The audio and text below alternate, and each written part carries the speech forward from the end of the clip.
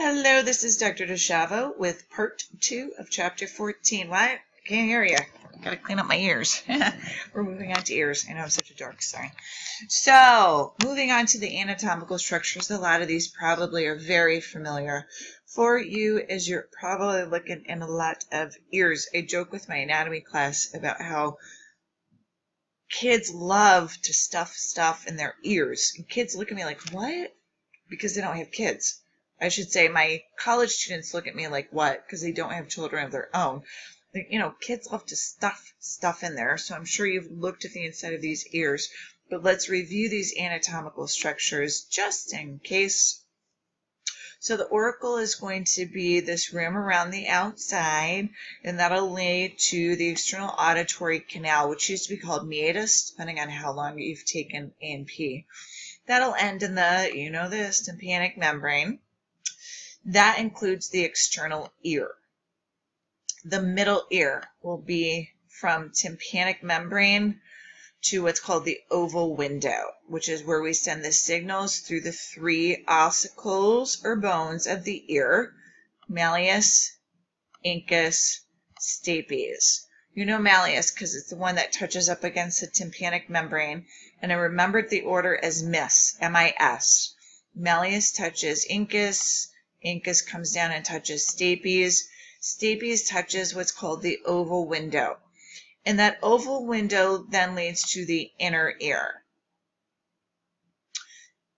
Additionally, in the middle ear is the eustachian or auditory tube or pharyngeotympanic tube, which drains this middle ear. In children, you know this is more horizontal, so it doesn't drain as well. And that's why they get that fluid buildup back into this middle ear, poor honeys, and they get the ear infections. But I went through that kind of quickly because I'm sure that's probably review for most of you. Now with this inner ear, we'll go a little bit slower because this may be a little bit of review for you.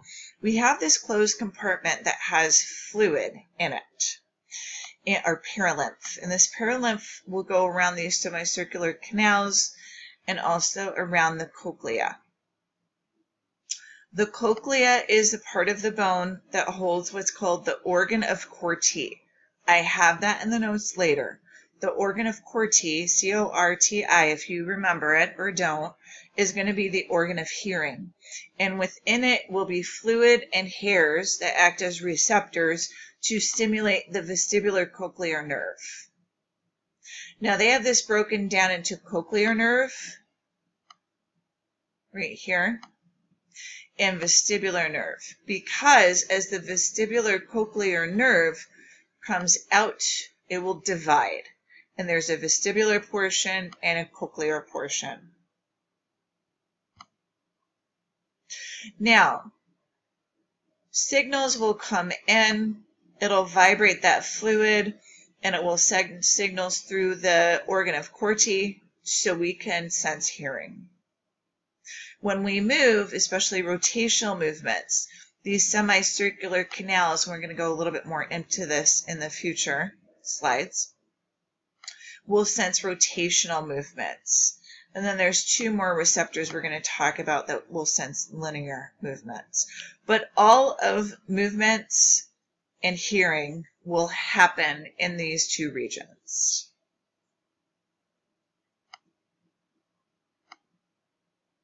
This breaks it down into outer middle, and inner ear. It's all the things that we just spoke about. They do get into the saccule and the utricle, which together are known as the macula. And there's little sensory epithelium. They're basically two little spots between those semicircular canals and the cochlea. I have a picture of this further in the notes. And they detect linear movement of the head. So it'll be either horizontal, such as when you're, and I'll get into this, I have it in the notes, I promise. Horizontal, like when you're riding in a car, or vertical, like when you're riding in a uh, an elevator. The semicircular canals sense rotational movement, and the rest of those things we have spoken about already. So ears are going to process sound, detect body position, and help to maintain balance. That's why we're sensing rotational and linear movements. It's our body's need or sensation to keep the head over the sacrum. So if it senses that the body is rotating too hard or falling over, we can account for that and reset our posture. And then it breaks down the different anatomical structures yet again for you. So sound will enter through the ear, we know that. And then it'll travel through that canal, reaches the tympanic membrane, hits that, creates vibrations. Those vibrations then vibrate the three small ossicles, malleus, then incus, then stapes. You know the malleus is near that tympanic membrane. So the last one that vibrates will be the incus, which will then hit what's called the oval window. It's just a small opening that'll go to the inner ear. It's just like a little membrane.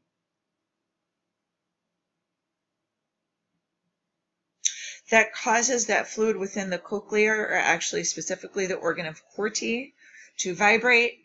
It will send waves through the fluid that is in the organ of Corti, which stimulates hearing receptors different locations along the organ of Corti, along that sort of spiral like a snail shell, will stimulate different receptors, which tell us different pitches. Here's a picture. So vibration comes in, hits the tympanic membrane, hits those three bones, sends vibrations through the oval window, which will stimulate that fluid. That fluid then moves within that organ of Corti.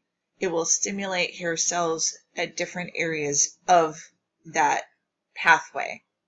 So high frequency will be stimulated. You could see just a little ways in as opposed to low frequency will stimulate deeper into that snail shell of the organ of Corti. Okay. Don't worry about like numbers and frequencies. I want you to know and understand those concepts. As far as these membranes, okay, you don't need to know anything other than those generalities of what I've spoken to you about.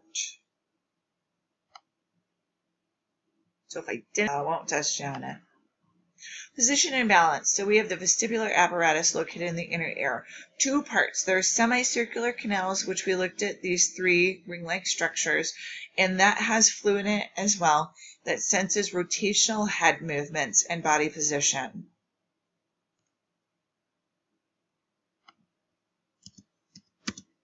The vestibule houses the macula. This is actually a bony chamber, and so is the cochlea the semicircular canals in the vestibule. These are all openings in the nice hard bone of the temporal aspect of the skull.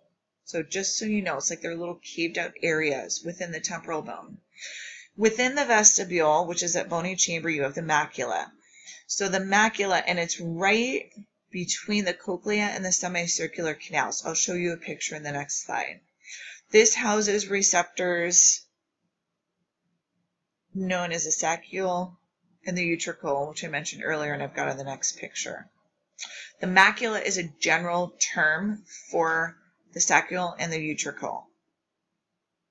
So if we look at a picture of that, here are those three semicircular canals.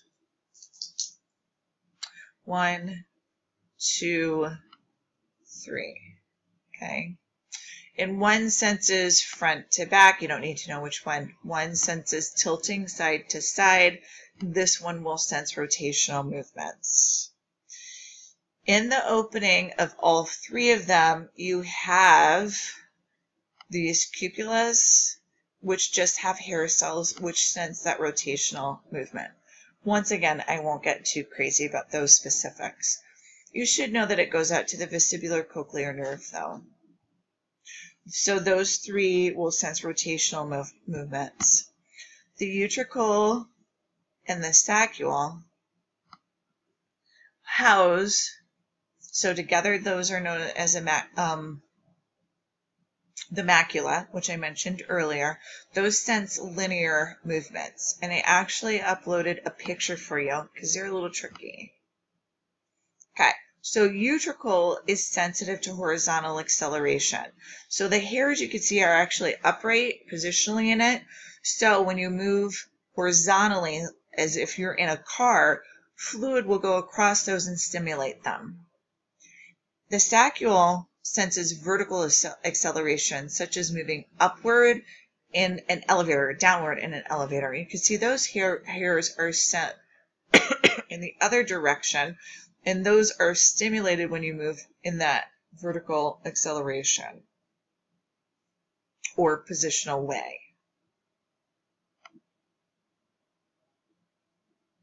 The eustachian tube, also known as auditory or pharyngeal tympanic tube, acts as a pressure valve between the ear and that middle ear is a closed environment. So this eustachian tube actually allows a little pressure valve kind of response between the middle ear and the nasopharynx. So this tube is normally closed, but if we have to regulate the pressure in the middle ear, we'll yawn or swallow and that'll open up the eustachian tube and allow the middle ear to pressurize basically with the external environment because the nasopharynx is open to the external environment. So the nasopharynx, if you don't remember, it's the part of the nasal, or the pharynx, I should say, behind the nasal cavity.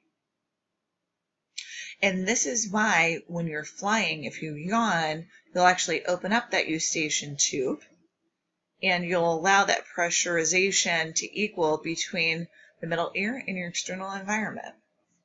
Kind of a cool little thing. So, question type. The semicircular canals are essential for hearing. True or false? Answer that and let's move on. We just have a short little bit here for taste and smell because they are very basic and very simple. So Taste includes the taste buds on the tongue, and we know that. I'm not going to get into the specifics. By the way, tongue mapping is not true. You have all sorts of taste buds that sense salt, sweet, bitter on every um, every papillae on the tongue, just so you know, as a sidebar. I won't touch on that because it's not in the notes, but just so you know. But if we have cranial nerve damage, we can actually have loss of taste. This is one way we can screen and test patients. So it is important for you to know and understand which cranial nerves innervate which parts of the tongue. The anterior two-thirds of the tongue is actually innervated by a facial nerve. It will sense taste to that anterior two-thirds of the tongue. Glossopharyngeal sense taste to the posterior one-third of the tongue. The vagus, this is so cool, will actually innervate taste buds that are on the epiglottis and in the post the pharynx, like just where the pharynx and the tongue meet. And the reason that's kind of interesting to me and the way I actually remember it is those taste buds will taste the aftertaste of fake sugar. Whenever I have fake sugar, I can taste it way back in my throat. It's because the vagus is stimulated, cranial nerve 10, and it's stimulated because it has innervation or nerves going to the epiglottis and the pharynx, which I always thought was kind of cool. So depending on which cranial nerves are affected, a patient can lose taste to any one of those three sections. Are they easy to test? Of course not. But, you know, if somebody has loss of taste, period, you should be concerned. Smell, olfactory nerves, and I'm going to show you a picture and actually quiz you a little bit, will come up through the nasal cavity and through what's called the ethmoid bone. It'll then go to the so the olfactory nerves go up to the olfactory bulb, which is just an extended front part of the olfactory nerve. That olfactory nerve comes back and into the brain. So the only reason this could be clinically important is if somebody has a really bad acceleration, deceleration accident, such as in a car accident, where their head flings forward and back severely, you can actually rip these olfactory nerves right off the um, ethmoid bone. So they might have a loss of sense of smell. Let's practice. If we look at this, these are the taste pathways to the central nervous system via those cranial nerves. So I want you to pause the tape and tell me what cranial nerve innervates this one, what cranial nerve innervates this one, don't look at the answers, just really they're written very small. And what innervates that one? Pause the tape if you need to. Otherwise, I'm going to reveal that. So anterior two-thirds of the tongue. I know my boards like loved asking this for some reason. I think it's because you have to remember the cranial nerve location and the percentages. so facials anterior two-thirds of the tongue. Right, glossopharyngeal is posterior one-third of the tongue. 10 is pharynx and epiglottis. And once again, with the cranial nerves brain dump, go in 1 through 12, write them down, sensory motor both. But my birds love that. I know I got two or three board questions for that. So I was trying to look, I'm like, hmm, what would they ask you? Now this is going to be which cranial nerve? Olfactory. Yep. I want you to tell me what this is, what this is, and what you think these nerves? nerves are. Okay, so pause it if you need to. Okay, this bottom one here, those are actually fibers of the olfactory nerves. They are exposed to the external environment if you take a look. That's the open nasal cavity, and that's an interesting thing because some people theorize that meningitis can actually get to the brain through this pathway, interestingly enough. Above, right here, we have what is called the olfactory bulb. And I know that's kind of new to you, but that's a rounded anterior portion of the olfactory tract, or nerve, you could say. So I like this picture because it shows how it passes through that cribriform plate of the ethmoid bone. And the ethmoid bone is just one small part of the skull. All right that finishes the basic anatomy and physiology of sensation. We will start disorders in the next video. I know this is a shorter video, but I'd rather do that and break it up so all the anatomy is in one video and the disorders and the dysfunctions are in the next video. So I will see you in the next video. As always and forever, if you have any questions, let me know. Thank you and see you soon.